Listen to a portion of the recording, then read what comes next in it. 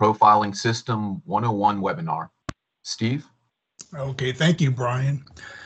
On behalf of Federal Highway, I, I think I you're wanna muted, thank everyone- Steve. Can you hear me? I can hear you. I Steve. can hear you. Yeah, I we can can hear you. Okay. You're Not muted. Okay, thank you. Yeah. So on behalf of Federal Highway, I want to thank everyone for for calling in today. And a special thanks for Michael Linder and also Brian Prowell and Dennis and Nathan Morian from QES for organizing the webinar. And also to our guest speakers today, Dr. Ray Brown, Kyle Hoegh, Dai from Minnesota DOT, Craig Landefeld from Ohio DOT, and to Rich Giessel, who, although he could not be here today, took the time to record a presentation for Alaska. So what's the goal of the webinar today? It's primarily to expose you to the dielectric profiling system, but also to share with you some advantages on how this technology might benefit you now, now, and also the vision on how this might be used in the future. Federal Highway and hopefully all of us have a desire for long-term durability and superior performing asphalt pavements. And that includes uniformity. Shortly, Dai will provide an overview that includes a little bit of history on the DPS. Uh, it really got its push about 10 years ago with with uh, SHRP 2, with R06C, a research study conducted by TTI and their study highlighted both IR and DPS technologies were very promising technologies for evaluating asphalt pavement uniformity during construction. From that point, Minnesota, with their research and pool fund effort, and also with their support of the SHRP 2 Implementation Assistance Program and a number of other supporting agencies, industry, vendors, um, We've addressed some initial challenges and saw to a number of improvements to the technology. So what's our goal?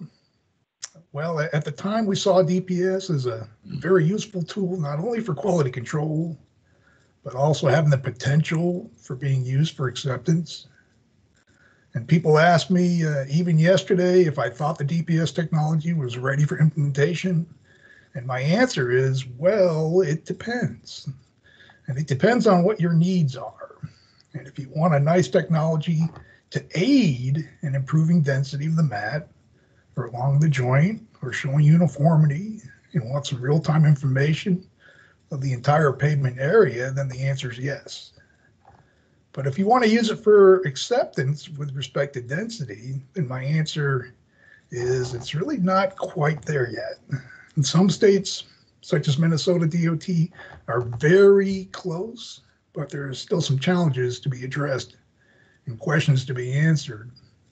But to get there, part of the challenge is also understanding all of its limitations, and that's where getting more states involved will help. And the last thing I wanted to mention is Federal Highway is a strong partner here. We're at the table assisting Minnesota DOT in advancing this effort, and that that includes supporting research, supporting demonstrations, and positioning us for potential implementation. Federal Highway now has a DPS at Turner Fairbank and is ready to support research. Federal Highway through the Mobile Asphalt Technology Center also now has a small handful of DPS carts and IR scanners for that matter, available for technology demonstrations and loaning out to states if they're interested in doing trials. So even with the pandemic this year, we were able to lend South Carolina and Missouri DPS carts and provide training on how to use it. And we have Massachusetts, Arizona, and Wisconsin on the waiting list to borrow them next. And I hear Massachusetts is looking at borrowing both the IR and the DPS technologies. So if, if you are interested, uh, you can coordinate through your Federal Highway Division offices, and they'll let, let, let Leslie McCarthy know. So again, thank you, and I, I think I'll be turning it over back to Brian, who will uh, introduce uh, Dr. Ray Brown. Thank you, Steve.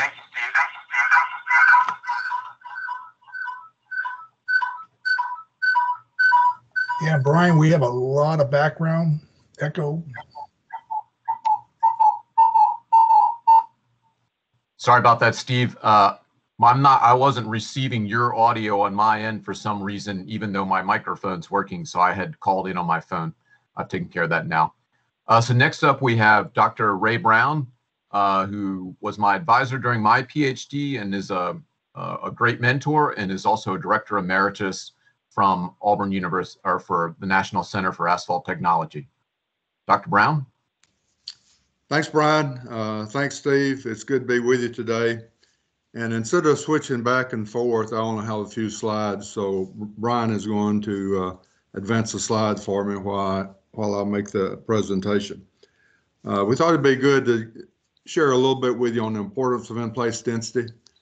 Uh, much of this is obvious, but I think there's some things that we don't often think about that probably need to be highlighted as we go uh, uh, through these presentations on uh, density. Next slide.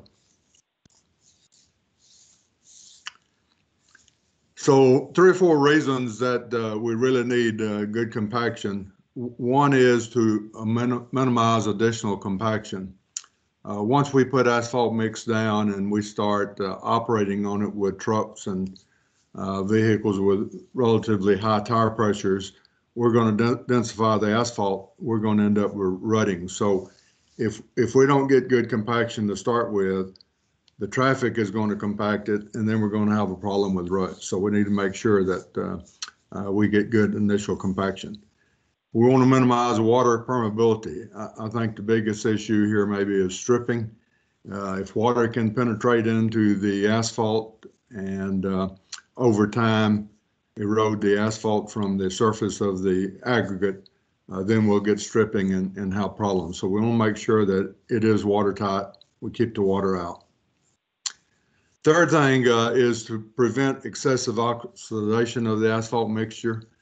If we have a lot of voids, certainly air can uh, uh, penetrate into the asphalt and through the asphalt, and over time, it's going to quickly oxidize the asphalt, making it much stiffer and more brittle, therefore ending up with more cracking, uh, potentially raveling, and loss of fatigue life. So we need to make sure that we can minimize any future uh, excessive oxidation. And then the last one is kind of obvious. Uh, if, if, we don't have good compaction, we're not going to have good shear strength. Uh, rutting is going to be an issue. We'll get plastic flow and other issues. So we need to make sure that uh, uh we get good compaction so that we do have the strength that we need. Next slide.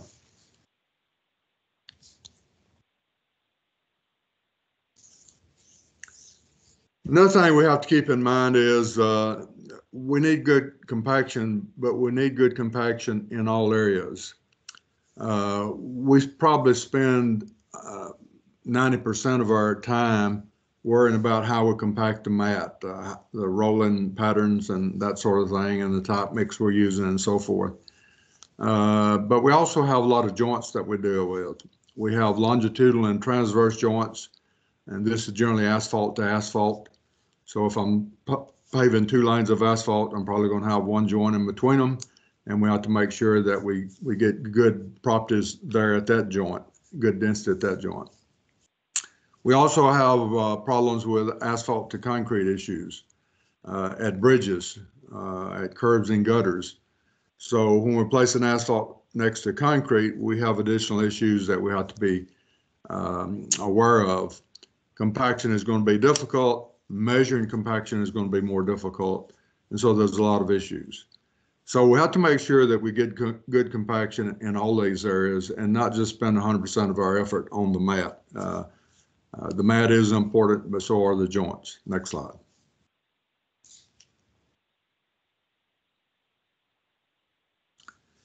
So if I look, look at an asphalt pavement, we put traffic on it, everybody's seen these photos or these types of slides over time, we get um, uh, densification.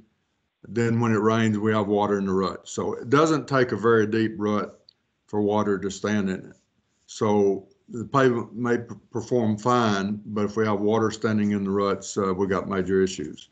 So we got to make sure that we uh, uh, get good compaction initially, and we don't have uh, significant issues with this. And by the way, I'll say this: that in recent years, I think we've done a much better job in compacting our pavements. and uh, solving this particular issue. We still see it from time to time, but not nearly as bad as we did, say, 30 years ago. Next slide. Permeability are, are uh, areas of concern. Uh, when we first went to SuperPave, we started using coarse graded mixes. Uh, we started designing it at very high gyration levels. Uh, we ended up putting some mixes down that were a little bit on the dry side. They were difficult to compact. And the bottom line is we ended up with pavements that tended to be a little bit porous. And so during a rainfall, water would uh, seep into the pavement. And then over a period of time, uh, it would stay inside the pavement and under traffic. Uh, of course, it could erode the uh, asphalt from the surface and lead to stripping. So this was a big issue when we first started with SuperPaves. Changes have been made, not nearly as big of an issue now, but it was a big problem. Next slide. So if we look at uh, some old pavements, uh, hopefully we don't see many of this bad. Some uh, quite often around the joints, it's permeable to water, and over time we'll see stripping and uh, might see something looks in the condition of the pavement here. Uh, not very good, and I think we would all agree this is not something that's uh, really acceptable for what we're doing. Next slide. Density-related uh, performance problems at, at curbs and gutters are, are significant. Uh, if we have a, a, a, say at a bridge, if we have a concrete uh, bridge and we have asphalt next to it, when we drive across the bridge and onto the far side, we're normally going to tend to push the asphalt, densify the asphalt at that uh, point, and we're almost always going to have a bump. So uh, uh, getting good density at that particular location is, is very difficult because we've got to compact the asphalt without damaging the concrete. And we've got to co compact the asphalt in a way that gives us density. And on military airfields, we, we've uh, been using a method that's kind of unique. We require, when we build an asphalt next to concrete, we, we require that the contractor overbuild the asphalt and compact it this keeps the roller off the concrete, minimizes any damage from the rollers. It also allows you to get full compaction, and then we come in and grind the surface next to the concrete. Uh, I, have seen at least in a couple of states where this had been done. I don't know if it was intentional or it was to correct a problem. Uh, but that's one approach that has been used to minimize concrete damage and to improve density uh, in the asphalt. Next slide.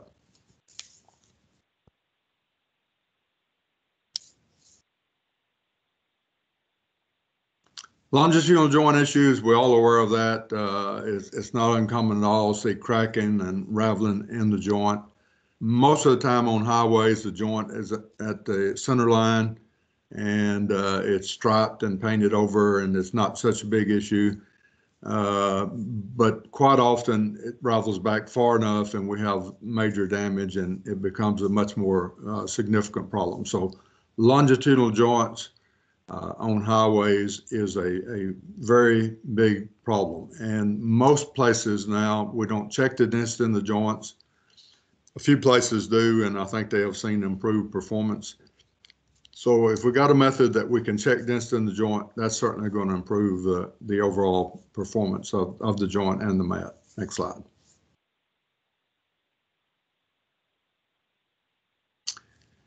Inadequate compaction also leads leads to oxidation. Uh, we've seen a lot of roads over time that uh, you have cracks run, running randomly, as you see on the left.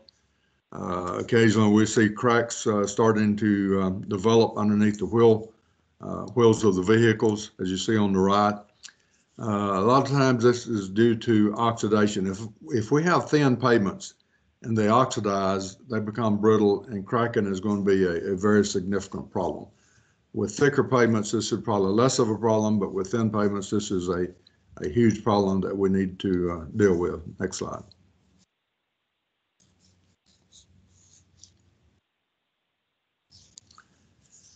So this is often good in mat areas, but low in adjacent joints. We see this uh, fairly often. Uh, I kind of think of this as a 10-90 rule or the 90-10 rule. 10% of the area uh, is is well is is poorly compacted. 90% of the area is well compacted and we get good performance in the uh, 90% of the area, bad performance in the 10%. So we, we need to be aware of uh, this particular problem and really spend a little bit more effort around the joints adjacent to the joints and so forth. Next slide.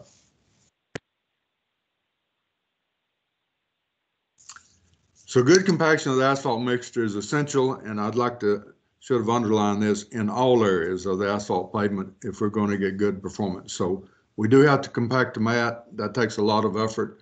We do need to put uh, uh, effort at longitudinal joints. We need to put effort at transverse joints, all areas throughout the pavement if we're going to end up getting overall uh, uh good performance throughout the, the, pavement. Next slide.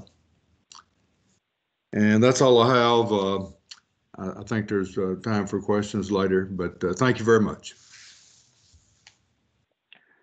Thank you very much, Dr. Brown. Next up, we have Shongtao Dai from Minnesota Department of Transportation, and Shongtao and Kyle Hoegh lead the uh, pooled fund study on the dielectric profiling system. Um, thank you, everyone. Thank you, um, Brian. Uh, can you see my screen now? Yes, sir. Okay. All right, good morning, everyone. So I'm going to talk about the general overview of the density profiling system, and we refer as the DPS system. So what is the uh, density profiling system? The DPS system is nothing else. It's just a ground penetrating radar device. Uh, we call the density profiling system, but actually it does not directly measure the density of asphalt mixture. It measures the dielectric constant of mixture, then we can relate the dielectric constant uh, to the density. So the system we have is, um, is a three-channel GPR system. So each orange box is a GPR unit. So a three orange box in here. So this is three uh, channel GPR DPS system. Uh, I believe most of you, probably some of you know what is GPR. And GPR is a non-invasive and non-destructive testing tool that has been widely used it, uh, in the industry to map the subsurface conditions, like the archaeology, and they have uh, used quite a bit this technology to detect the underground features. And the military has used this to detect the underground structures and IED stuff like that. Uh, it operates uh, very similar to the X-ray. So X-ray use the uh, electromagnetic uh, waves to see what's what's inside your body, what's going on inside your body. And this technology use the uh, radio wave and emits radio wave into the ground uh, in our applications into the payments to look what's inside in the inside in the pavements. So how does GPR work? And like I mentioned before, the each orange box is a GPR unit. But within the each within this box, there is two sensors. One is called the transmitter and one is called the receiver. So basically, transmitter emits the wave into the uh, ground, into the pavement. Then when the wave hits the interface between the two materials in terms of dielectric constant, so the wave does not recognize stiffness of, of two different materials, but it recognizes the con dielectric constant of the individual materials. So when the hits interface between the two different materials, in our case, is between the air and the asphalt mixture. So that's the asphalt pavement surface. Then part of the wave will refract it back and the part of the wave will get into the pavement. So once refracted wave received by the receiver, then the receiver reaches a peak value in the time history trace. Just watch the animation of this um, this animation. So when it hits the pavement surface, wave refracted back and received by receiver, and then register a, a peak value and recorded time history trace. So if I put this time history trace in transverse way, so it's very it's similar like this. So this is a surface refraction, the peak, this is a curve, this is a time history trace, this amplitude is from pavement uh, surface refraction. So what we are interested in is this peak value, or sometimes you can use a trough from this time uh, from the surface uh, refraction. So we can use this peak value and using this formula to calculate the actual constant. In this formula, we have the A0, which is the uh, amplitude from surface refraction, and AP is amplitude from the metal plate calibration data. So before we take the actually uh, survey, take this DPS device to get the project uh, survey, take project data, we'll have to do metal plate calibration. So basically we place the metal plate underneath antenna and we take static measurements. Uh, as we know, metal is perfect refractor. So any wave hits on the metal plate will 100% refract it back. And you will get a very clear signal from metal plate. So we can easily to find this uh, amplitude from metal plate refraction. So we after we got these two parameters, then we can use this formula to calculate the dielectric constant of asphalt mixture. Um, back to the DPS system. The system we have is, could you switch your slides to presentation mode, please? Sorry to interrupt. oh, sorry, I see if we can get the animation or movie. It's better? Sorry.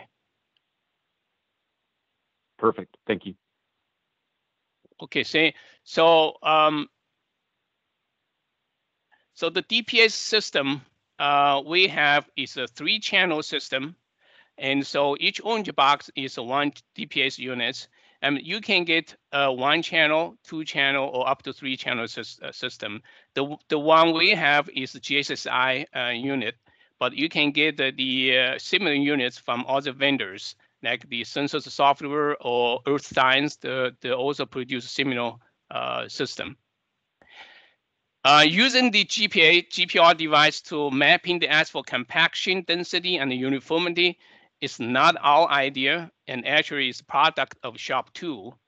And SHRP 2 did the research back in the 2013 and also 6C, and they evaluated different type of equipment and they found the GPR is the most promising technology that can be used to uh, mapping, get continuous uh, mapping of the asphalt compaction and also uh, uniformity. Uh, also, the found the dielectric constant measured from the, from the GPR device can be directly related to the density or, or air voids from the, um, asphalt mixture.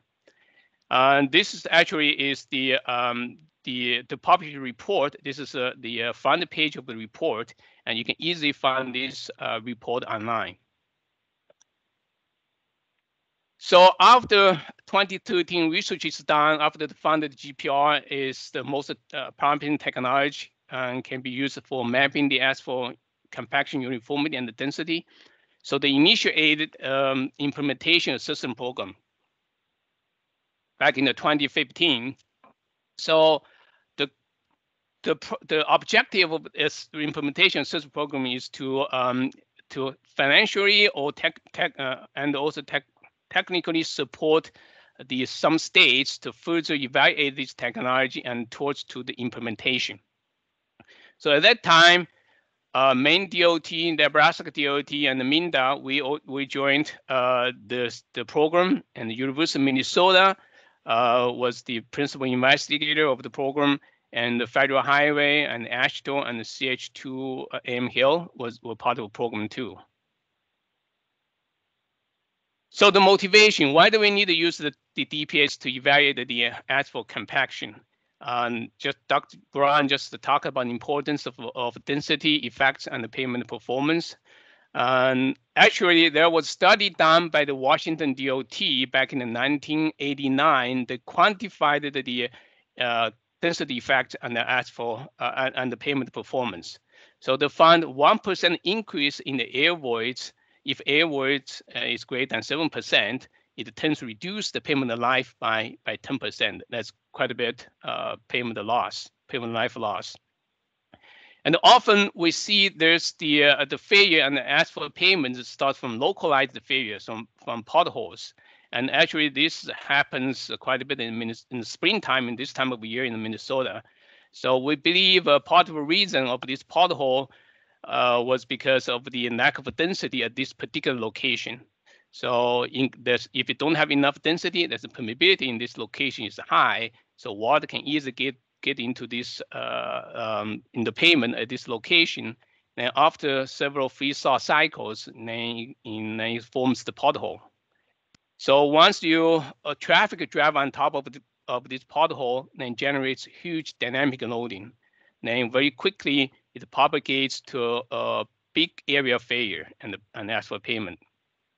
And also, Dr. Brown mentioned about the 1920 joint failure, and this also one of the uh, uh, major failures um, in our asphalt pavements in Minnesota.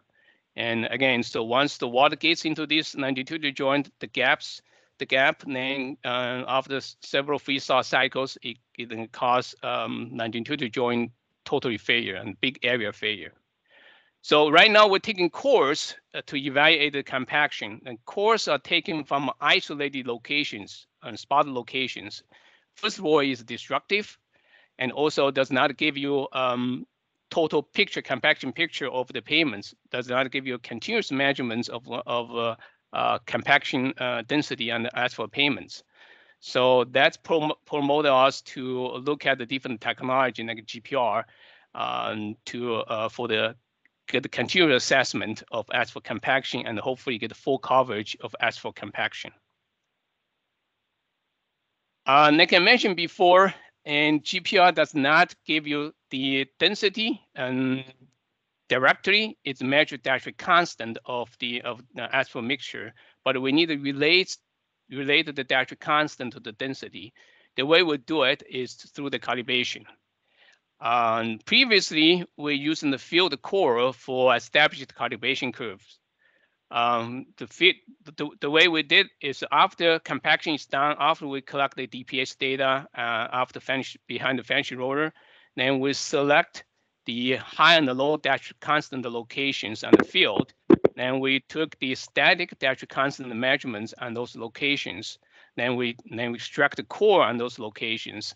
Then we measure the density in, in the laboratory. Then we know the dash constant on those locations and also the density so then we can relate the measured dielectric constant to the, the uh, to the density.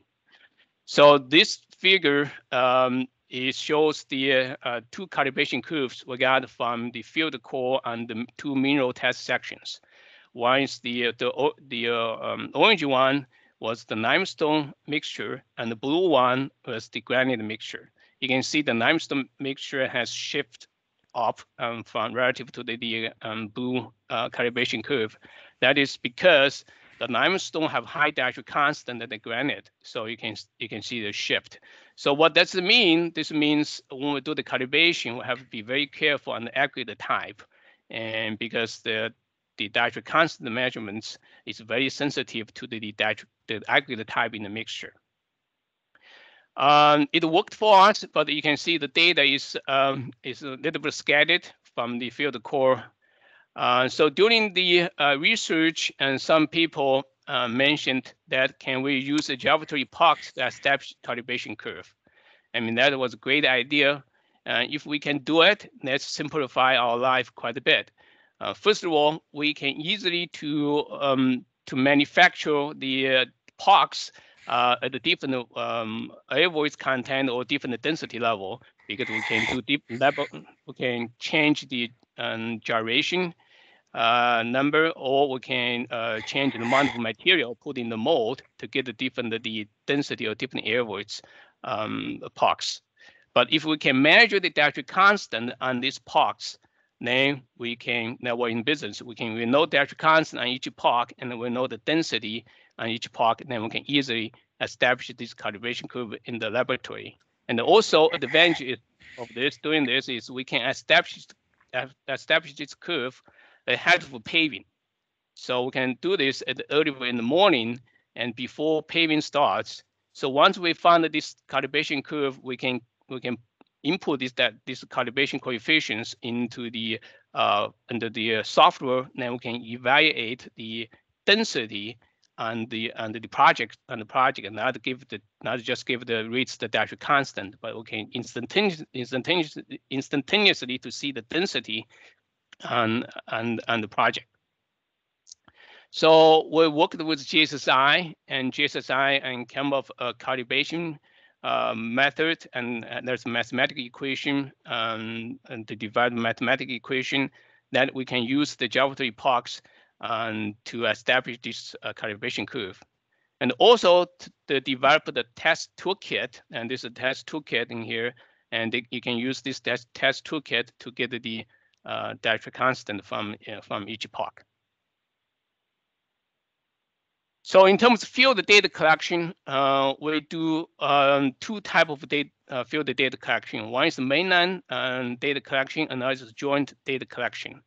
So for the mainline data collection, we just push the card uh, back and forth behind the finish roller. You can see, and the, there's this is a finish roller. So we push the card behind behind the finish roller, um, back and forth to, to get the, the map data collection.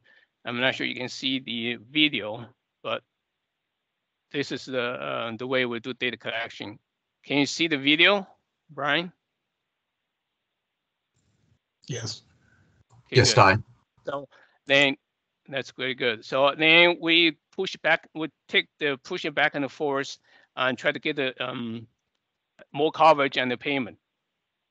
You can do uh, straight line data collection, or you can do like a Kyle is doing right now to uh, do swerving uh, data collection.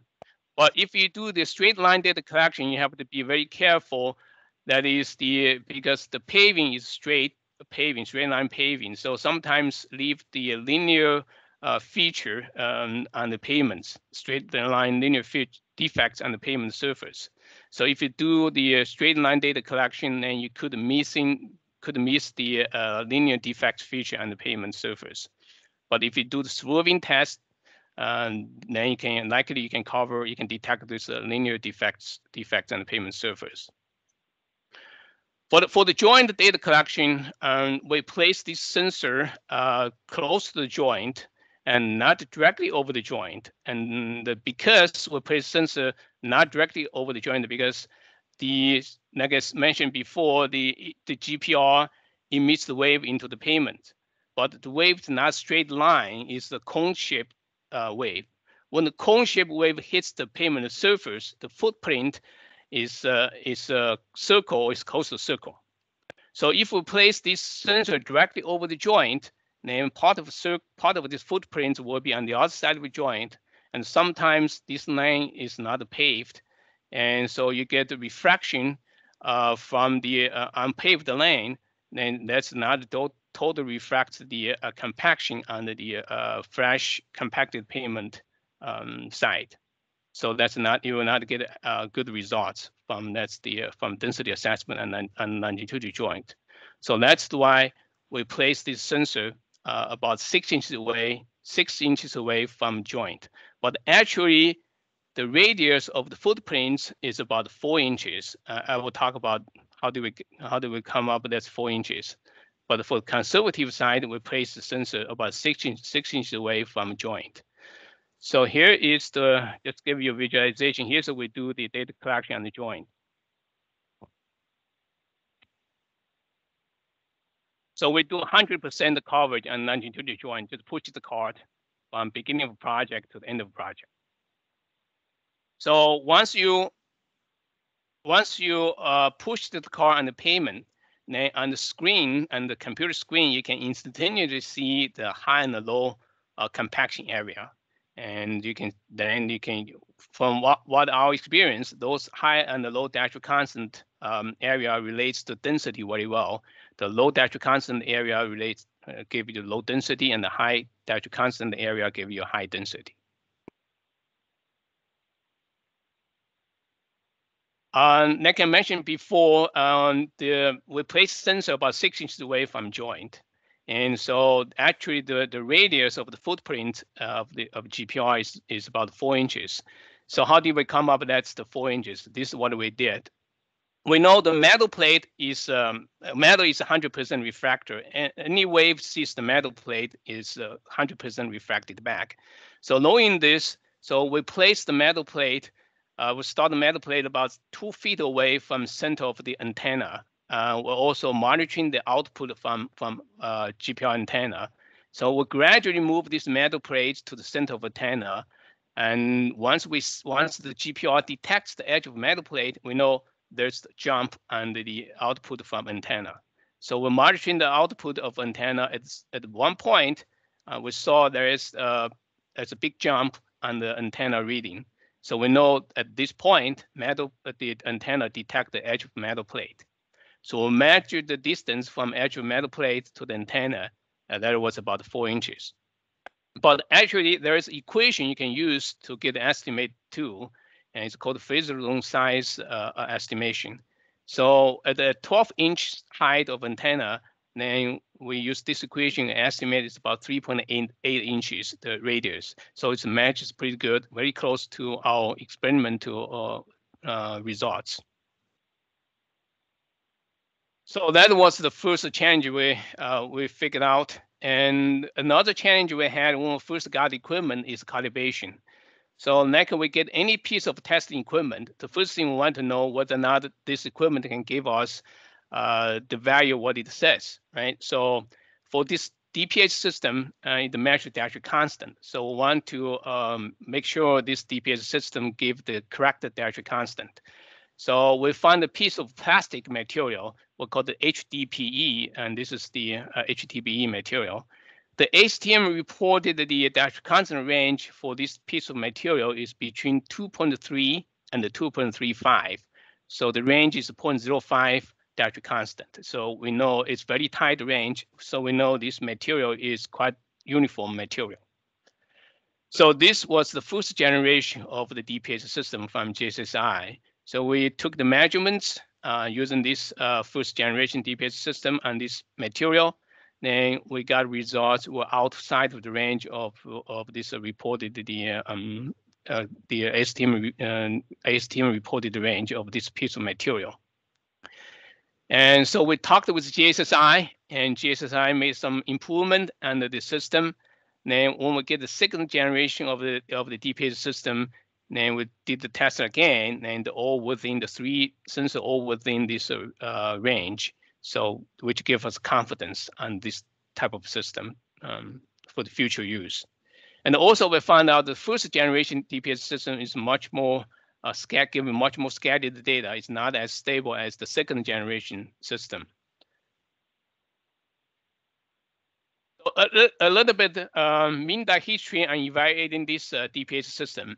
Um, we first got this DPS system in back in the 2015, the winter time from SHRP 2 assistant program. So this is our first generation, the first uh, uh, system we got is push card type system.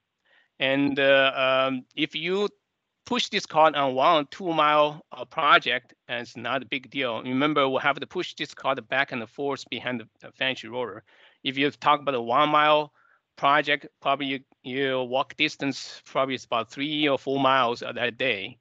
But if you uh, try to use this system on 10 or 12, 20 mile project, uh, 20 mile project, then that's quite a bit of walking distance. So um, that's that's very labor intensive. So considering that, and actually that was feedback we got from contractor. So we uh, tried to put this DPS system under the on the vehicle. So we got the vehicle mounted system back in the 2017. Uh, this reduced the labor intensity, but um, imposed another challenge for the driver. So like, uh, like I said, we want to particularly we want to put this sensor, the far left sensor on the uh, close to the joint, six six inches away from joint, and it's very difficult for the driver to control uh, this sensor uh, six inches away from joint. But we tried different techniques, uh, try to improve the accuracy. We mounted a, um, a video camera on the side of the van, and we'll put another screen on the on the uh, beside on the side of the driver and so try to um, try to try to let the driver to see the joint very well. And but that imposed uh, another issue is a safety issue. Because the driver, some people mentioned about drivers supposed to drive the vehicle straight forward, look at look at the uh, front, um, not look at the screen, and also it's safety issue as a likelihood to maybe get a, if big vehicle in on the construction side, maybe likelihood get hit by the uh, traffic. So we abandoned this idea. Now we are moving to the gear type um, uh, DPS system. So we mounted the DPS system on the one gator and the back of the gator. Then we'll, we'll also put the motor on, on the back, back of the gator. We'll move these two antenna uh, from left to right, back and forth, and to get the full coverage and, and the payments. And the gator is moving straight forward, and these two antenna move from left to right, right to left, and to try to get the full coverage and, and the payment. And this far left antenna will stay stationary and to get the 100% uh, coverage and as and the longitudinal joint. So we're still working on this prototype, and Kyle will uh, probably will show you a, a movie on this uh, video on this um, on this Gator uh, data acquisition system. So the next generation DPS system, we're working with University of Minnesota right now. Also, we're doing the in-house research is put this uh, Gator, put DPS on the uh, robot. So we will let the robot do the, all the work, do the walking, and we're just using computer to control the uh, robot data, data collection. Where do we want where do we want the robot to go? We can fully control by the computer. In terms of field evaluation um, history, so we started the field evaluation um, back in the 2016. And over the past uh, four or five years, we collect the data uh, over probably over over 20 or 30 projects. And through the data collection, we gained more experience on this uh, and this equipment. And at the same time, we found some issues and problems, um, particularly software side. Uh, we'll work, continue to work with GSSI, try to get the, get this in the system improved. Um, back in the 2018, um, we started to hire the contractor to collect data for us. And the way we did that is to uh, pay the contract uh, to co collect the data for us. Uh, we thought um, by giving them incentives to, to collect the data for us, and also we can educate them this technology. and try to get get them excited, accept, acceptable to this technology for the future implementation. So back in the 2019, and we also published the actual spec, and this spec is for the uh, equipment uh, acceptance, equipment, uh, the uh, um, specifications. So start from this year, uh, we're going to try a new program called the Pilot Rental or Buy program. And previously, we loaned the, our equipment to the contractor to collect the data for us, and also pay them by hourly rate um, to collect the data for us. So from start from this year, uh, we're, we're going to ask the contractor to uh, go out, get their own equipment, either through the rental program or the buy or buy the equipment, whatever they want to do. But we're going to pay them by the amount of the data um, to give to us. We are going we develop the draft spec. We're going to, we're going to give this draft spec to the contractors. And if you follow this format and collect the data for us, then we'll pay the amount of data you uh, you give to us. Uh, actually, one of our local contractors uh, bought their own equipment, which is very uh, encouraging to us.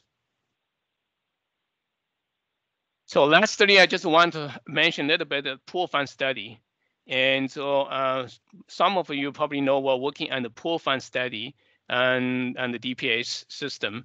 And this project started uh, started in the January of 2020 last year.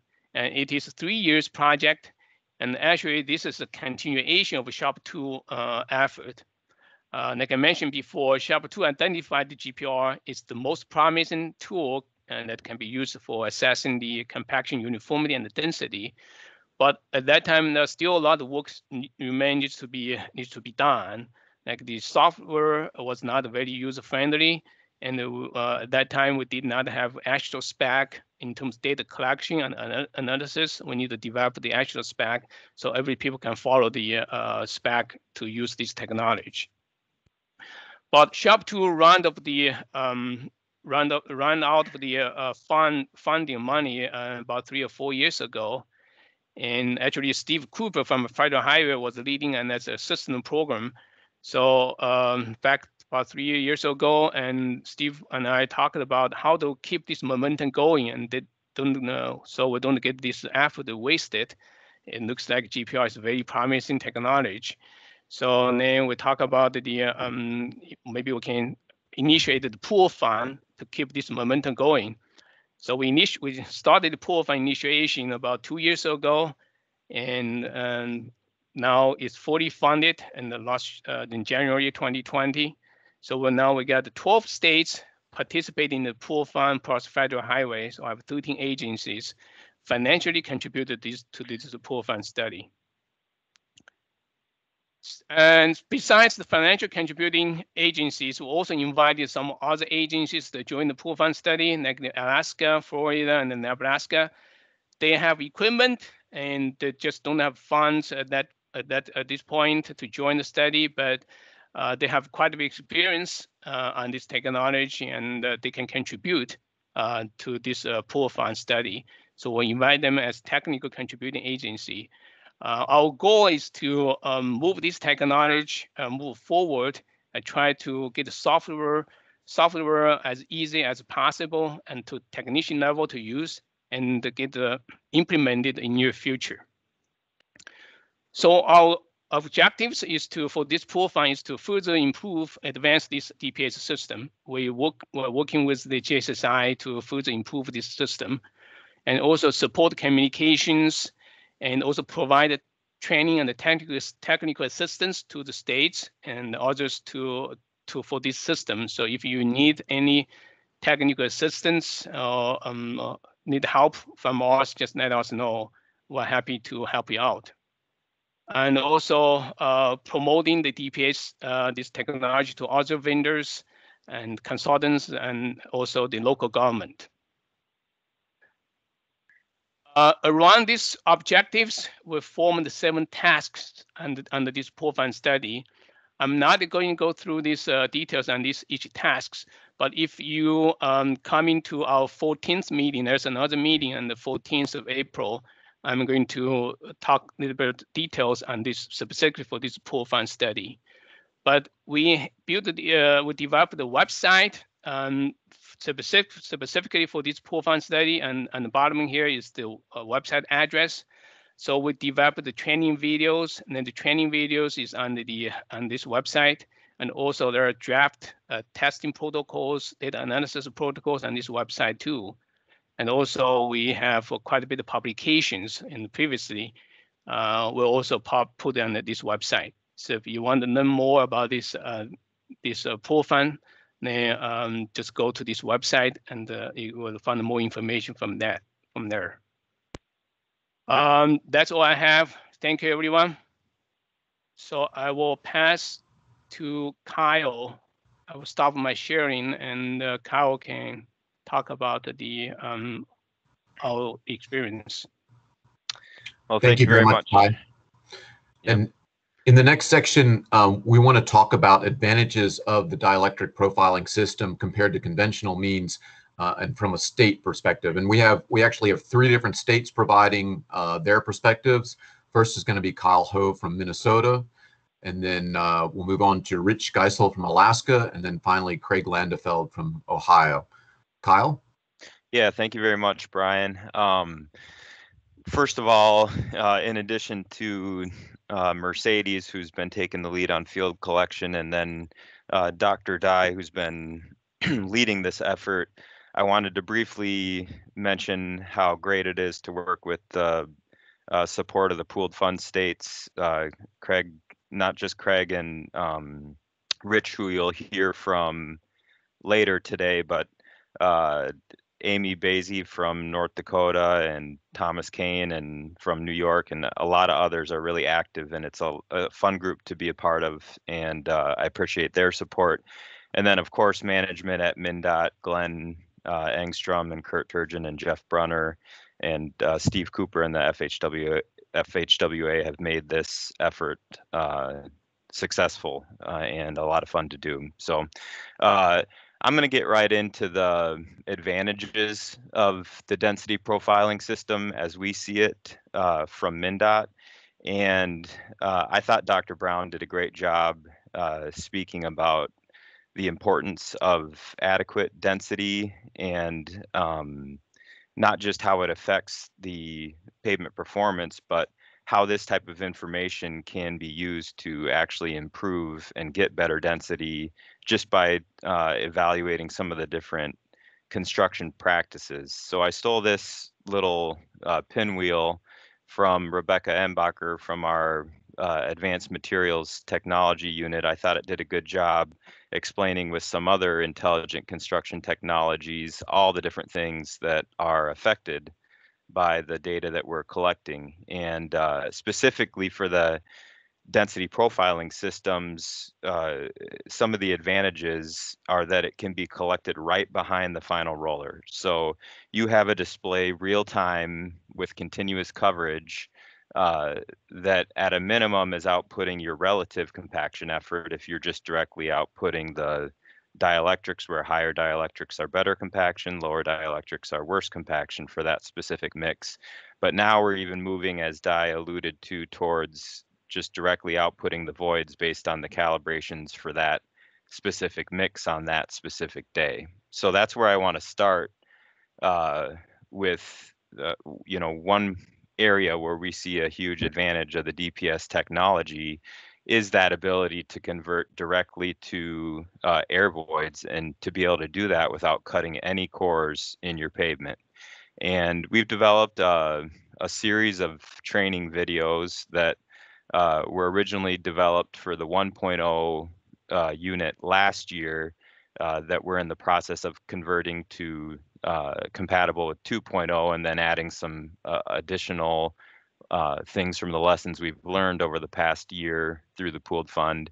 but the first one I just wanted to briefly touch on here is how simple it is to actually fabricate the pucks that you need to be able to do the calibration. So um, MnDOT and I'm sure other states have to make quality assurance cores or, or sorry, quality assurance pucks uh, for the production mix at predefined periods throughout the day uh, anyway.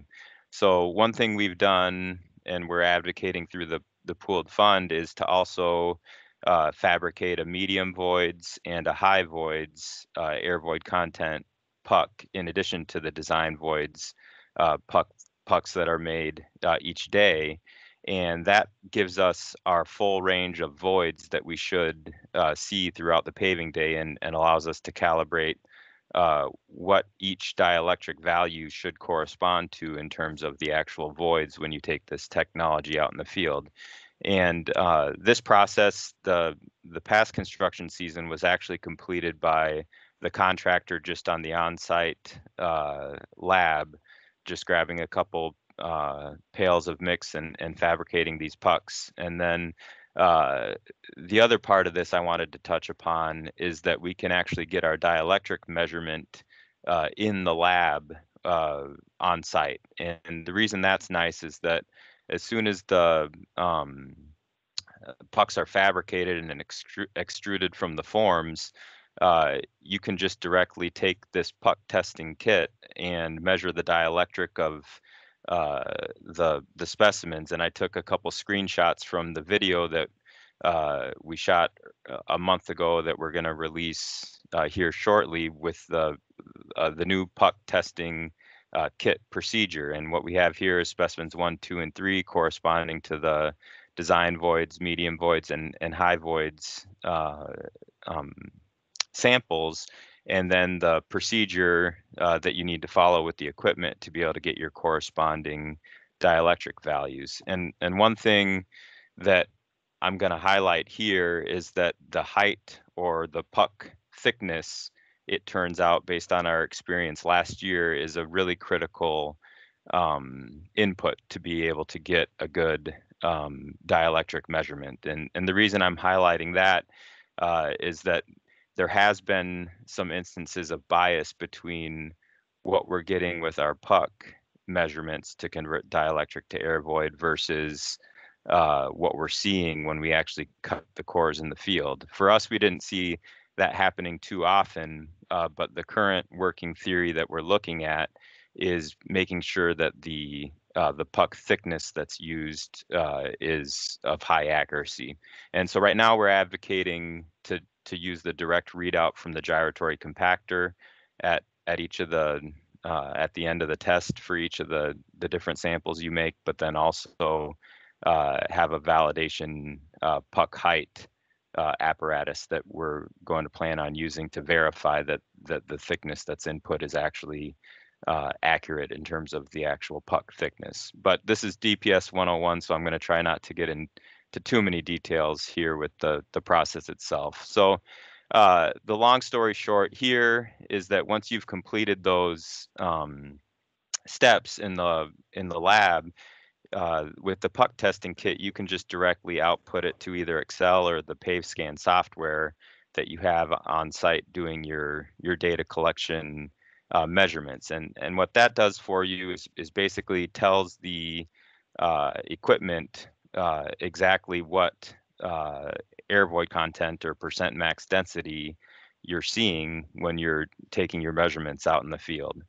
And one thing that we're doing certainly it, while we're researching this technology is to not just blindly trust that this curve that we create eh, shown in the in the um, orange dots here and corresponding regression linear regression line but actually validating that that's what we're seeing when we actually cut cores below our dielectric measurements in the field so what you see here with all these uh, gray dots are the results of actual field dielectric measurements taken prior to the core getting cut. And uh, what we were able to accomplish this past construction season is to just piggyback on the cores that needed to be taken anyway uh, for our normal quality assurance uh, validation process. And so we were able to to basically report when we're going out to the districts or asking contractors if they're interested in this technology that you don't have to take any extra cores when you use this technology and that's one thing that i've learned is that nobody likes taking cores and that's a big uh, selling point for this technology that uh, as it stands right now you can get a conversion to uh, void content without cutting any holes in your pavement and now at this point we just need those cores to validate that our conversion is actually correct or not. So you can imagine collecting these 10 to 15 cores per day that we're currently uh, using for quality assurance are not no longer going to be necessary. You know, maybe we can reduce that to five per day or even less, depending on how uh, the technology performs. But that's a huge uh, direction of improvement that uh, potentially can be a product of of moving towards quality assurance with this technology itself beyond the the obvious one which is the improved coverage of the technology and and we've been able to uh, use this method uh, fairly robustly in, in the sense that we had 28 unique paving days and over 266 validation cores testing out this process itself. And with the pooled fund, we're going to continue to be able to uh, evaluate and, and, improve on this uh, process. And, and, the goal is to be able to eliminate the bias uh, enough to the point where we can start using this technology for quality assurance. So uh, that allows us to get to the fun part. So, so basically all the talk before was, you know, how do we make sure that what we're actually measuring out there is reflective of the compaction? Um, and then once we have that process done, now what we're effectively out there doing is getting a continuous coverage that gives us all the information that you'd get from cutting holes in the pavement without actually cutting the holes in the pavement. And uh, as Dai alluded to, we've been looking at different techniques uh, for data collection. And, and the first one we're looking at here uh, that was just actually developed towards the end of last year was a gator mounted system where as long as you have this um, strap dragging along your longitudinal joint, you have 100% coverage at the center line joint, and then the other two remaining sensors are moving back and forth to get your full coverage at approximately 10, 12 foot spacing along the entire uh, pavement width. And that's just one way we're looking at collecting uh, the data, but it's still a, a, a process that we're looking at and getting input from our construction or our pavements office as well as other states uh, in determining exactly you know what type of coverage is the most effective at providing information about the placed uh, mat. But one thing that Dr. Brown touched upon and and that you know everybody seems to agree is getting that center line joint. Uh, I think that 1090 rule sounds uh, uh, like a good general rule of thumb where basically if we can get our our joint figured out even though it's 10% or less of the pavement it's where 90% of the early uh, failures occur so that's that's one thing that we want to focus on with our um, collection and i think Michael said he was going to put this YouTube link here in the comments so you can. I know when you share screen, it kind of uh, skips sometimes, so you can see the the YouTube video. And please, uh, if you have an issue with the background music, it was Kurt Turgeon's idea, so uh, go ahead and email him and tell him how much you don't like the music and give him suggestions. I'm sure he'll like to to get a bunch of emails explaining what was wrong with his music selection on our YouTube video here. So this next one is just showing uh, what we do for a static data collection. And the, pur the purpose of this one is uh, to just give us an idea to make sure that if these different sensors are going along the exact same spot of pavement, they should give you the exact same result. And that's one thing we've learned through initial trials is that you got to make sure that all three of your sensors are in spec of each other. And that's something we've had to accomplish through swerve or line tests in the past. But I think this uh, bracket mounted system should give us a little bit of um, uh, ease, a little more ease in terms of getting the information we need to make sure these sensors are calibrated to each other. So, so basically that moves us closer to having an acceptable dielectric quality assurance test that's easy to uh, accomplish.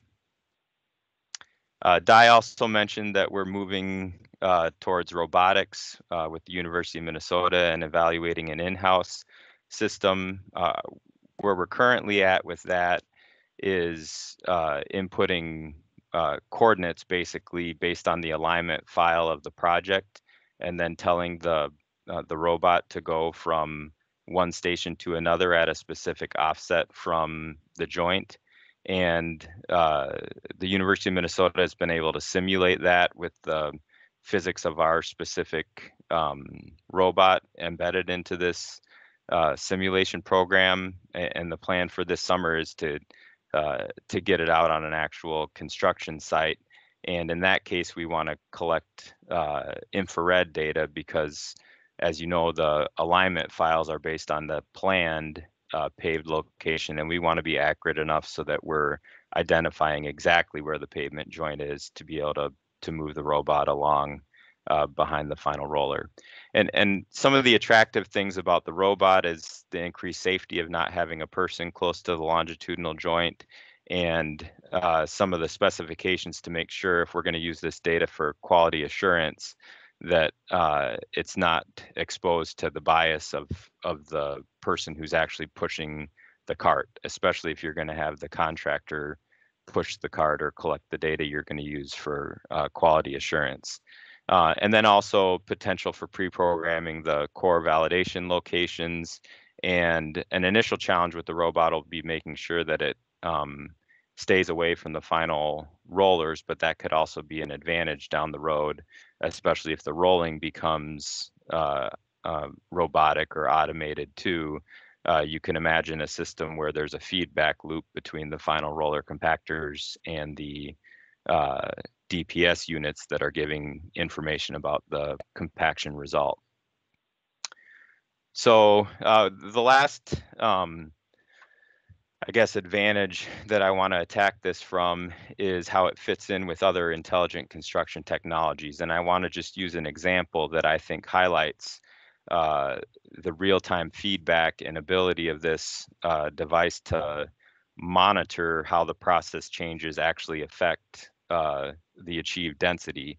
And, and, the way we look at it at MnDOT is that you have all this information about um, the process. So where your rollers are, um, what the temperature when each of the of the mat when each of the rollers hit it is, and and all these different process pieces of information. But we're still relying on uh, cores to give us our end result uh, compaction. And I think that's really where this DPS technology fits in and and some of these things like modifying rolling patterns or adding additional rollers or not this real-time feedback can come into play uh, to help give us information to to make those decisions so this uh, project that i'm going to highlight here was actually a 13 mile project where the contractor did quite frankly pretty awesome it was a superpave 5 mix and they were typically hitting between 94 to 97 percent uh, on average. That's shown in the yellow along this stretch of pavement here.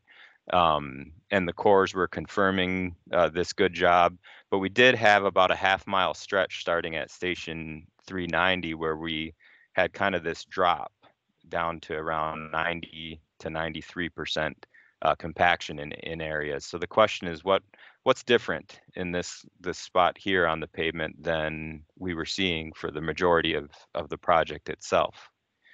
And uh, um, the other intelligent construction technologies showed both pass count and temperature on the initial compaction effort. And uh, what we saw, in fact, was a, a, discrete change exactly in the area where we saw the drop in our achieved density, uh, shown here in green on the density profiling system, uh, and red with a lack of passes, and yellow and, and orange from the, the pass count results, and then in blue here for the temperature at initial uh, compaction. So uh, it's great to have all this data, but the question is, well, you know, if it's something this large, you would think our our cores would also catch that too, right? So uh, we we took a look at the cores that uh, occurred along this location, and uh, unfortunately, at our current coring uh, quality assurance um, procedure, there were zero cores on the eastbound lane where this dropped uh, occurred, starting at around 390, uh, uh, station 390. But luckily, we were able to get uh, at least one core here in the westbound lane uh, over on this side of the pavement along this area. But unfortunately, that that spot of the pavement actually showed pretty good compaction. So we thought, well, okay, maybe the technology, the DPS uh, was giving us the wrong results. But in that specific spot, we hit 95.1% uh, predicted compaction, which was pretty close to the 95.9 that the core showed. And then we also looked at the, the actual data in that area itself,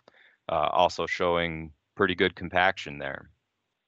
So that kind of brings us to um, uh, some of the improvements that have been done on a software level that should help us to get more real-time feedback for catching these sort of low spots. And so some of those improvements in- include we used to have to go back into MATLAB to filter the data and output the stations or offsets we wanted, but now it's part of the on-site software where you can say, okay, I want to look just at this problem area starting at 388 uh, all the way to station 410 and I just want to look at the pass that's giving me a random sample of the mat, uh, press play, and then you got the data filtered uh, the way you want it. And it looks a little bit messy, but it's actually pretty intuitive here. What you have on the top is your stationing, and then what you have here on the y-axis down on the bottom being 90% compaction and the top 95% compaction. And lo and behold, that core location at around station uh, 393 uh, was showing around 95% uh, compaction uh, in that area. And you say, well, maybe we just got a little bit unlucky with the cores uh, this time. So you can also look at it here with a histogram, which basically gives you a count at each of these different compaction levels of how many data points or how many measurements at each of those compaction levels did we see.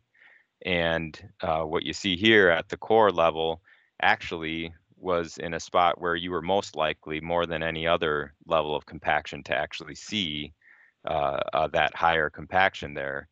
But you also have all this data uh, at these low spots within this known problem area that are not at adequate uh, compaction. So uh, I think one thing to to come away from with this continuous coverage technology is you know the assumptions we're using right now to evaluate compaction quality are probably need to be adjusted and and that's you know not a comment that's critical of what we're doing with cores because you know when you can only cut 10 to 15 cores in your pavement uh, per day uh, you're not able to do these kind of assessments but but I do think if we're able to get this technology reliable enough for quality assurance, it really changes how we want to start looking at our pavements and, and really iron out and look into these uh, dips and and uh, decrease spots in in compaction that we otherwise can't evaluate when we're evaluating with cores. And and one thing I wanted to just briefly mention is that, that what looks like noise here when hey, you're looking Kyle, at we're uh, we have two more presentations left. Just a reminder. Okay, yeah, I'll I'll go through the last part quickly here. So so these spots that look like noise, if you zoom in on them, uh, eh, they're actually representative of of the area uh, within that section of the pavement, and uh, and and really when we start to iron this out and import everything together in one software uh, you can you can really iron out exactly what's happening with the process that's causing these drops or these dips or these problem areas with with the pavement. So uh, and and again, there's another area where a lack of passes causes the the drop in the pavement compaction. So uh, these are just a, a, summary of, of the four bullet points that we went through about uh, the advantages of DPS uh, from MnDOT's um, uh, perspective. But uh, at this point, I'd like to pass it back to Brian so we can go to the other presentations. So thank you for, for your time. Thank you, Kyle. Uh, next up, we have a, a pre-recorded presentation from Rich Giessel from Alaska DOT.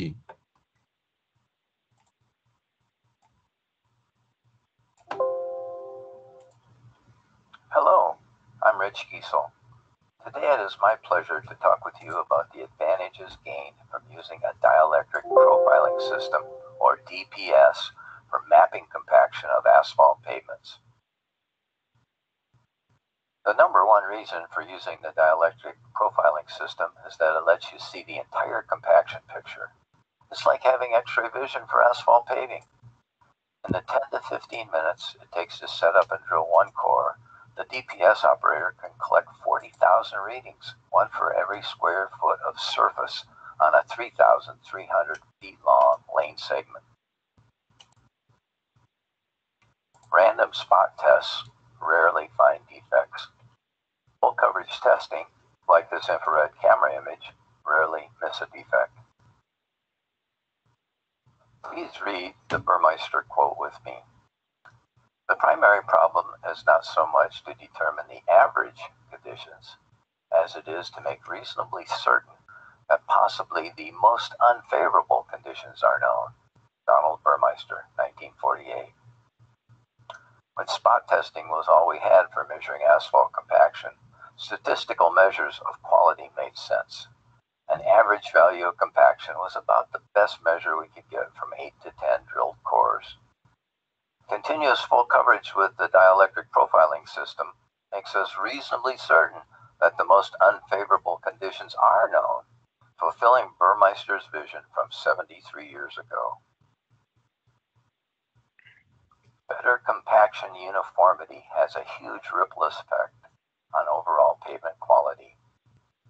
Uniformly compacted pavements give longer pavement life, lower maintenance cost, and a smoother ride. DPS data can be used for uniformity incentives or disincentives. Increasing compaction is the easiest and cheapest way to increase pavement fatigue life. The dielectric profiling system provides assurance of uniform high compaction. This example is for a typical Alaska superpave mix designed for 1 million ESALs at a target compaction level of 94.7% increasing compaction by three tenths of 1% to 95% increases fatigue life by 13%. Increasing compaction by 1.3% to 96% increases fatigue life by 55%. Increasing compaction by 2.3% to 97% increases fatigue life by 97% nearly double the fatigue life with one or two more roller passes. For defect mapping, user selects minimum compaction value, target compaction value, and area of defects for export as CSV files or spreadsheets or KML files for visual display with Google Earth. With continuous full coverage compaction mapping on the mat, no pothole left behind can become a reality. With good communication, systemic compaction problems, like this one adjacent to a paved shoulder, can be resolved quickly. On this mill and fill project, the roller operator was making a pretty edge joint by lapping the roller onto the old paved shoulder. We did not want pretty, we wanted well compacted. Keeping the roller on the hot mat for passes two and three is required for edge compaction. Sometimes paving has to be done in adverse conditions. When summer arrives, you might want to see how well you did. Forensic testing can be done on a pavement of any age. This is the computer compression of 3,500 feet of dielectric data on the Glacier Highway. Stations 82 to 98 were paved in cold weather, with a rain event at station 90. Stations 98 to 117 were paved nearly a month earlier in warmer weather. So what do these dielectric readings mean in terms of compaction? Calibration for this forensic work required drilling four cores after dielectric mapping with the DPS system. Bulk density of the cores was plotted against dielectric readings taken at core locations prior to drilling. After calibration, we see the exact same pattern. Low dielectric equals low compaction. But now compaction values are displayed instead of dielectric. Would you prefer 18,000 compaction readings on this 1,500 feet of lane one or one core? Area defects are exported to KML files for viewing as shown in this image. The photo clearly shows where roller operators turned off vibration as they approached the bridge. Prior to use of DPS, we were not aware that we were leaving bridge overlays below minimum compaction levels because we never core on a bridge. A good match segment looks like this on the PaveScan computer. The histogram shows that all readings are greater than 92%. Mat compaction defects are also exported to CSV files where they can be listed by station. The exported data is shown in blue font in the first six columns. I added the defect area calculation in red font in the last column. Minimum defect area was 8 square feet. Continuous full coverage compaction mapping at longitudinal joints is a huge leap forward in QCQA. Pavement life is limited by the weakest link, almost always the longitudinal joints. Scanning across and along the joints with the dielectric profiling system allows us to see variations we could never see before. It's like looking at a living cell through a microscope for the first time. For this 14,000 feet of longitudinal joint, would you prefer to have 28,000 compaction values or five cores? Continuous full coverage compaction mapping gives you a complete compaction picture along longitudinal joints. This screenshot shows great joint compaction. One station of 200 compaction values is displayed as a heat map at top and a line chart at the bottom. The smaller graph at the bottom of both images shows entire extent of data, station 1080 to 1150 with the smaller portion displayed, station 1103, shown shaded between the handlebars. For longitudinal joints, agency can enter minimum compaction value, target compaction value, and minimum length of defects into export defects table. These parameters will set defect boundaries for export of CSV files to spreadsheets or KML files to Google Earth for visual display. A list of linear defect locations in station order is also generated when the Export Defects button is activated.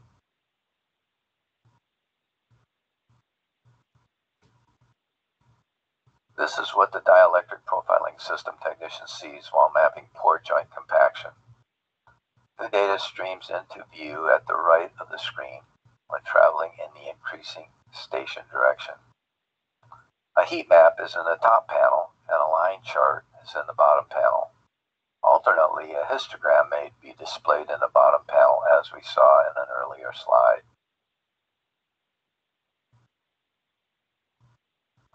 export button created a KML file of linear low compaction defects that produces this Google Earth image.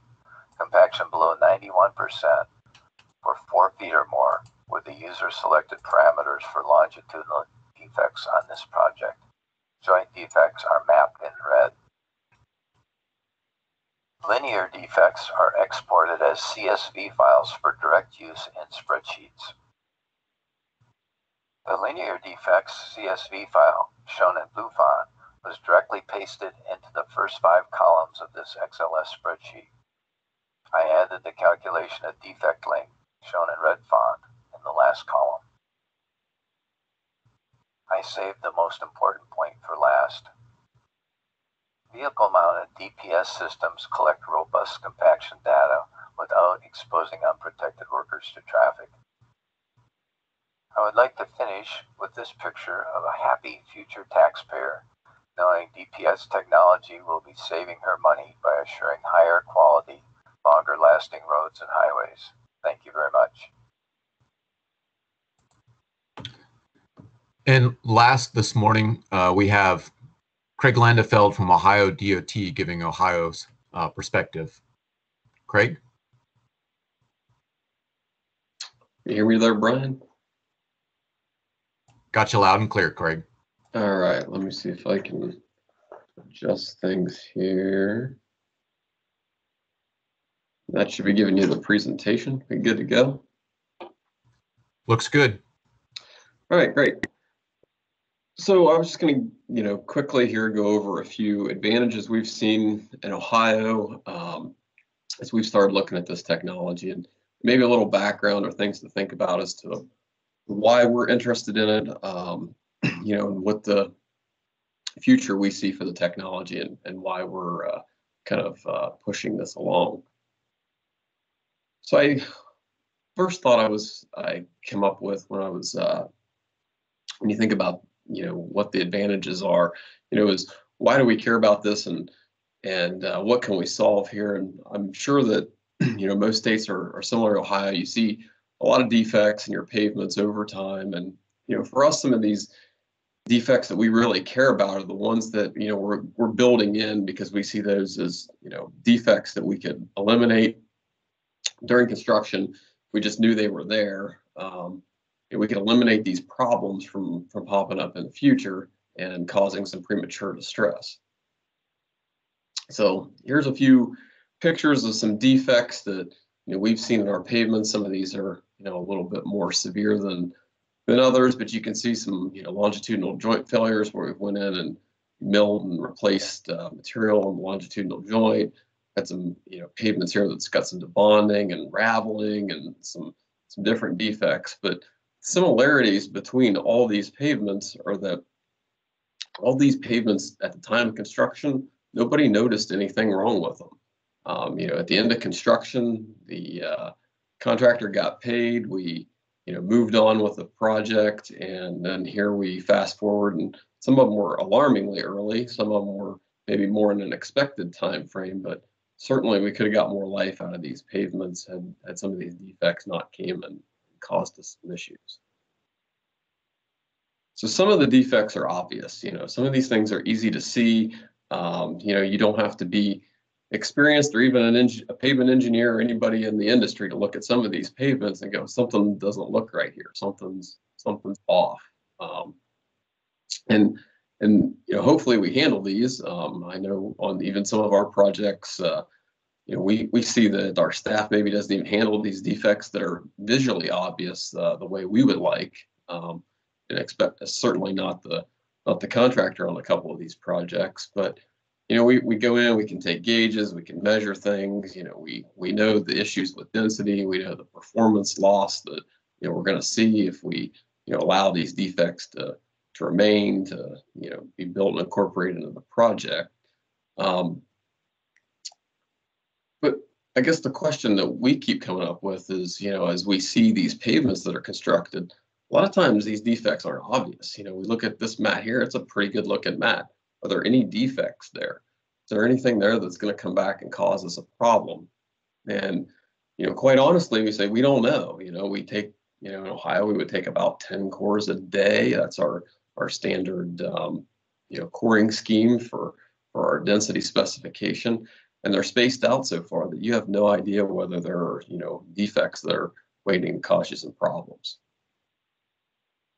So trying to just take a, an example as to what some of these things might cost. Um, you know, Ohio, we kind of have a, a, rule of thumb, you know, from a lot of our uh, district pavement staff that, you know, they think they're repairing somewhere around 5% of the uh, pavement area mid-cycle.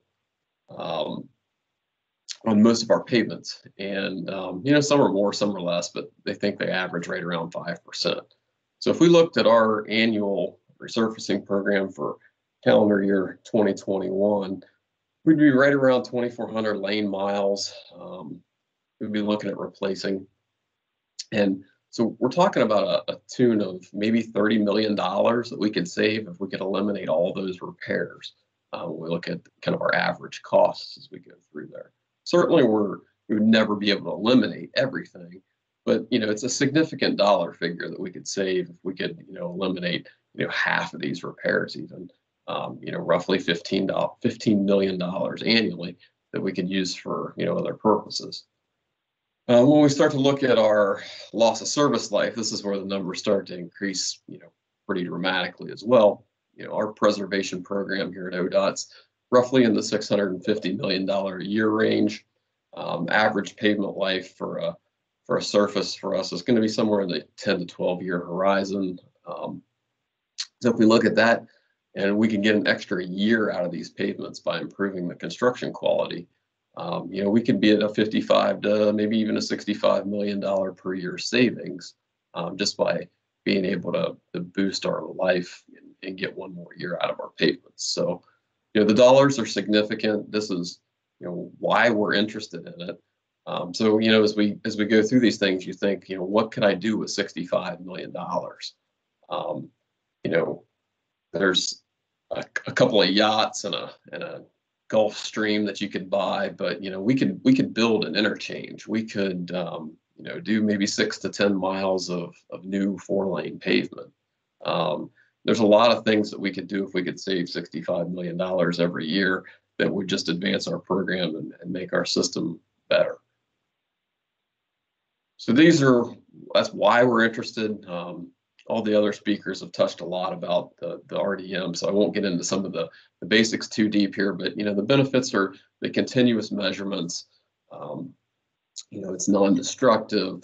The results can come back, come back faster you know, Rich just alluded to the amount of samples. Um, you know, our typical coring scheme in Ohio is going to result in 10 cores representing roughly 2,000 tons every day um, when we put that material down.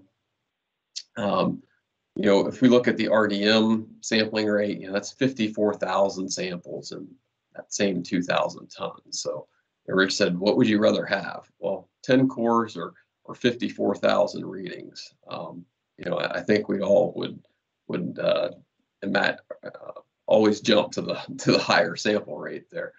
You know, and to kind of put that in perspective, you know, what what does 10 cores? Well, core for us, four inch core, you know, about the size of a hockey puck.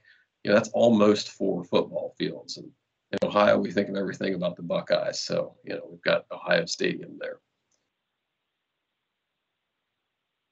So I guess just some other things to consider. Um, you know, we've had some questions from some of our contractors and some others. You know, can we really believe the the results of this machine? And, and people are, um, you know, skeptical at first, and and I don't blame them. We we ought to, um, you know, look into these things. Or certainly, you know, we're talking about big dollars here. We don't want to, um, to do anything that's going to have uh, a worse correlation or or um, you know not be able to accurately measure what we're after out there. So we put it in perspective and I looked at some uh, research projects that we'd seen um, different ones along the way on gauge correlations to, to density, whether they were nuclear or we allow the PQI gauges, uh, the electric gauges here in Ohio. Um, and then there's some other with you know the PaveTracker and some other technologies that we wouldn't get into here, but you can see the different you know correlation values for the R squared here, you know, roughly 0.8 for a nuclear gauge, 0.81,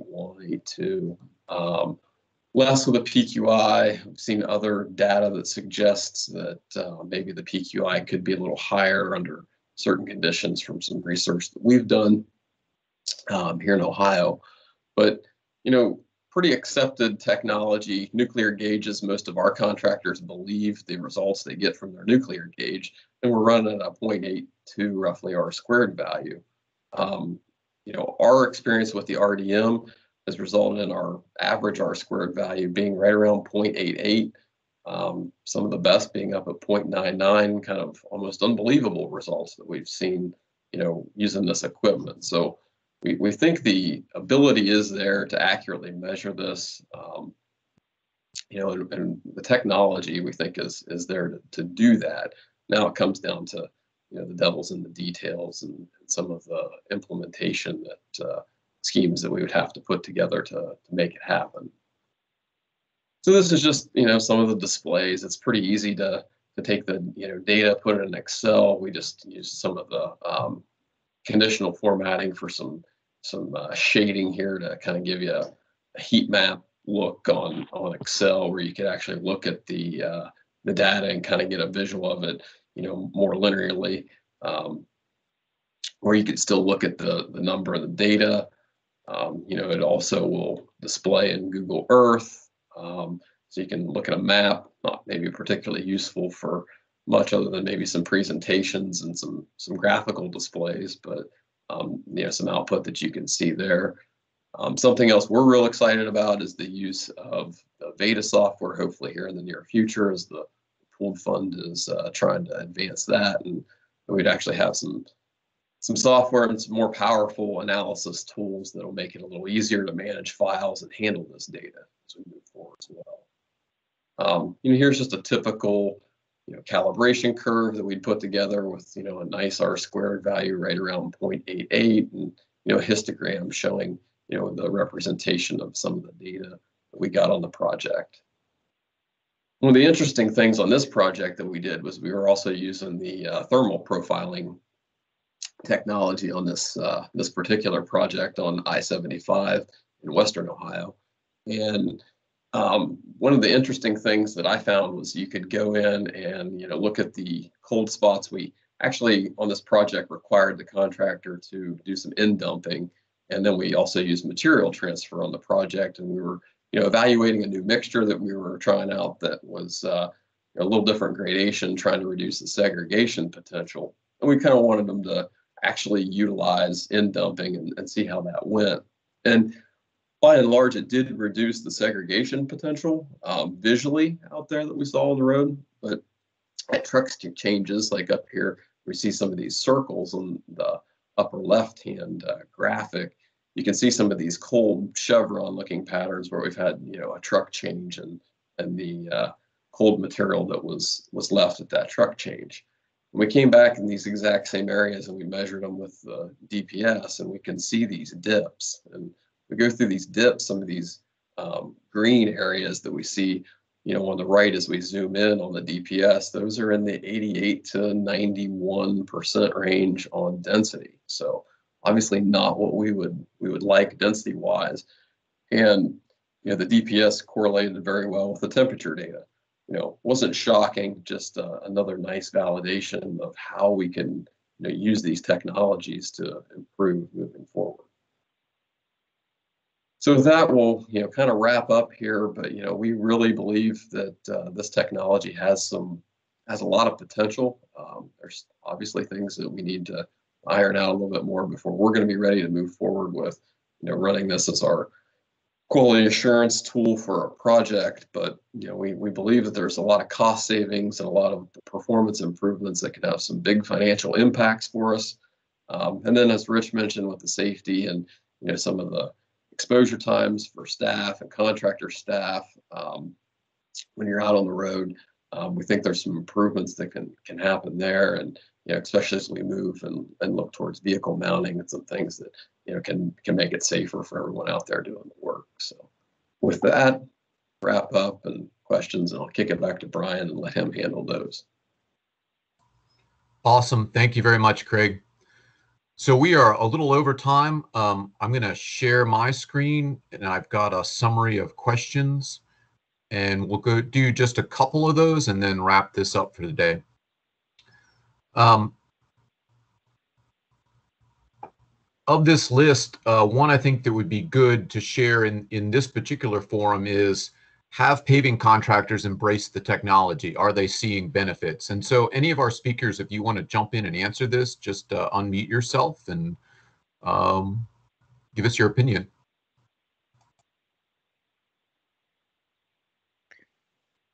I can speak, but I went over my time, so I want to give the other speakers time to respond first if they want to.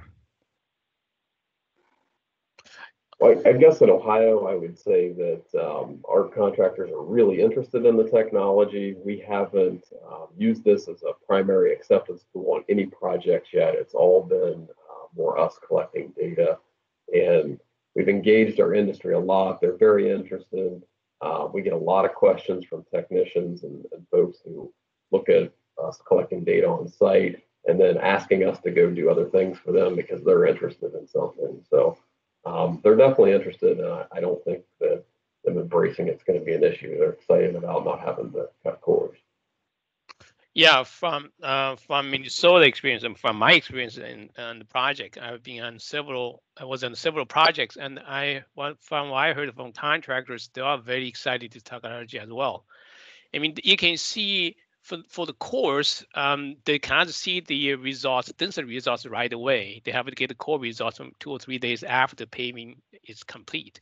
And for this technology, you can instantaneously see the density and while you push this car behind the um, finish roller. And they are very happy on these results. They can see, oh, how, how well I did on, on the compaction. Yeah, and the only thing I would add is that the uh, you know, one example was on echelon paving. There was two different types of um, rolling patterns that the contractor was trying out, and even with a newt gauge, just getting the spot measurements wasn't necessarily sufficient to do the evaluation. With the DPS, you can get a a, a more fully covered uh, comparison, and in that case, one of the techniques was far superior uh, to the other, and I think that kind of feedback is exciting for contractors to see.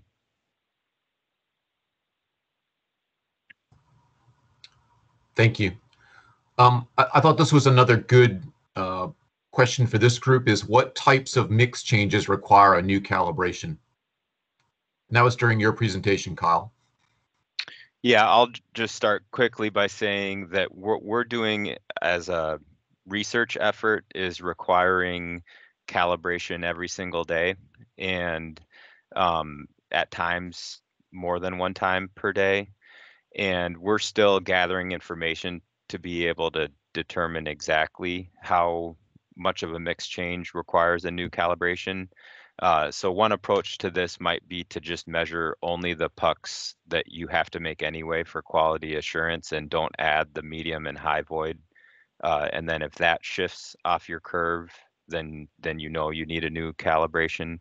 Um, but we're still kind of in the research uh, process there. And w- what I can say is that if there's uh, for for typical day-to-day mixes, there's not a shift in the in the data that we're observing so far. So in Minnesota, if a contract changes aggregates by more than by 10%, they have to let us know there's a change in the mixture. So, yeah, one yep. One example so spe- specifically was when they changed from granite to limestone for the surface or from limestone to granite for the surface mix um, there was a, a shift in the data. So definitely your source of aggregate uh, is is affecting it. And at that time we can require the new calibration. Thank you. Uh, the next one I'd, I'd like to get some of you to address is any generic guidance on how long to wait after a rainstorm to test the pavement with DPS if ensuring a dry or to ensure a dry surface and is subsurface moisture a concern? Um, Uh, I mean, I can jump in and, and say some of our experience has been that um, if the if the pavement looked dry, um, it was probably okay. We didn't we didn't see any any issues or any reason to go beyond that. Uh, we tested it a little bit after some, some rain on purpose on a couple of projects just to see what would happen. And as soon as the pavement looked dry, it was back to you know a, a reasonable um, dielectric compared to where it was before. Um, I think with rolling and hitting something immediately, that would be the best and the way we want to go for quality assurance. Um, and once the roller water was gone, everything seemed to be fine. Dai and Kyle might have some more info they've done. Yeah, we we have been collecting right after the final roller when the pavement's still a, about 150 degrees, so it tends to evaporate. And I second what Craig said, which is that as soon as it's dry on the surface, there doesn't appear to be uh, an effect of of the moisture that's either already evaporated or soaked into the pavement itself. Um, but there are times when there's like a layer of um, or not a layer, but a line of of moisture from the final roller getting um, uh, added water, uh, and and those do cause a spike in the in the data. And and Dai could probably speak more to it. We, we've been looking into a moisture gauge as a potential way to attack that problem. Yeah, so uh, we're aware of that and the moisture effects of dielectric constant management. Actually, this is part of our pool fund study. We're looking at ideally we we want to find some device we can get a continuous assessment of moisture on the pavement surface and along with the DPS. Uh, so far, we found one potential technology we can use for the future is the Dr. Uh, David White from uh, Ingios.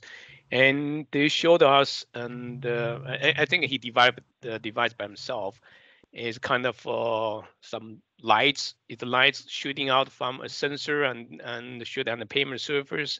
When those lights detect the moisture locations, and then the computer showed a huge spike. So we, we still try to work with him to develop that technology. I'm not sure how successful it was, uh, how successful he's doing right now. And we talked to him last fall. And at that time, he said he still need to work on some sensitivity issue and, and the equipment. And uh, hopefully uh, we'll get him back this year to evaluate uh, the system. Uh, at the same time, we found a moisture meter is called Flare, um, I think 60 that meter can give you spot testing and the on the uh, spot and moisture testing on, on on this pavement surface. So we think we can use that one for the for the density for the core um, uh, measurements. We need to take a validation course um, on the field. So maybe we can place that's the before we extract the core from that location. We can use that moisture meter to detect what's moisture level on that's the core location. So these are the these are the things we we're working on the part of the uh, pool fund. And one last question, and then the remainder of the questions we will we will answer in writing and then post along with the presentations. We'll send you an email on where. Uh, I, I expect the presentations and are going to be posted in two different locations. Uh, but last question: If the heights of the pucks changes the correlation of dielectric constant to air voids, do variations in HMA layer thickness affect DPS readings? Do underlying layers affect the readings? Kyle, you can, I know it's got my name, but you can probably answer that a little better. Um, you know, I get into, you know, kind of how they're measured differently with the, the, the puck measurement in the Yeah. lab versus in the field. Yep, thanks, Craig. So um, the puck measurements are completely different in terms of how the dielectric is extracted. So it's important not to confuse uh, when we say that the thickness of the puck is extremely important to get the dielectric when you're doing the laboratory readings. Uh, that's because we're actually measuring the dielectric based on the velocity um, and an input to the velocity is the travel distance, which equates to the the puck thickness. So in that case, the the puck thickness is is very critical to getting an accurate dielectric. For the surface reflection readings that we're getting in the field, uh, the thickness of the uh, lift is not a factor in terms of the calculation of the dielectric. It's just a reflection coefficient based on the the response of the top approximately inch of the material. So where that comes into play would be if you had, let's say, a thin asphalt lift on top of a material that has a different dielectric, such as uh, PCC uh, concrete, you might have an effect of an underlying layer. Uh, but as a rule of thumb, if you're applying it on new HMA uh, either a mill and overlay or on top of a existing uh, asphalt lift, you won't have it um, an effect of the HMA layer thickness. Uh, the only other extreme case that uh, might affect your dielectric for thickness is if you're doing a very thick lift paving where you might have a, a density gradient with depth. Uh, in that case, your your dielectric reading will be a response based on the top inch or so of the of the um, placed mat. So it would not be characterizing the the lower. Let's say if you did a really thick five inch lift, you'd you'd want to do your uh, your core air void measurement of the top inch to to calibrate with the the dielectric reading. And as part of the pooled fund, we we're actually looking at a section of pavement at MnROAD where we did have a a six inch lift placed. And then we also have a section at MnROAD we're looking at as part of the pooled fund where the thickness is gradually changed from three inches uh, down to zero at a transition zone. So we'll be able to give more uh, quantitative response to that question uh, as part of the pooled fund.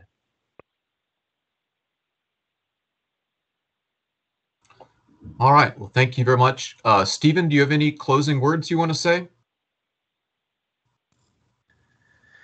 Just want to say thanks again to all the presenters. I mean, very good information. Um, really good information. And um, yeah, like uh, Brian said, we plan on, Brian's going to post the PowerPoints and we'll let you know where they're posted for QES, and then also through the pool fund, uh, Dai and Kyle are going to have this information posted on their site also. So we'll have two different locations where this information is available. Uh, but hopefully you enjoyed today's content, and uh, that's it. I appreciate it, Brian. Well, I want to echo Steve's comments and thank all the presenters and uh, thank you all for your attendance. And I hope you have a great day. Thank you very much. Thank you, Brian. Thank you, Steve. Thanks, Brian. Thank you, guys. Thanks.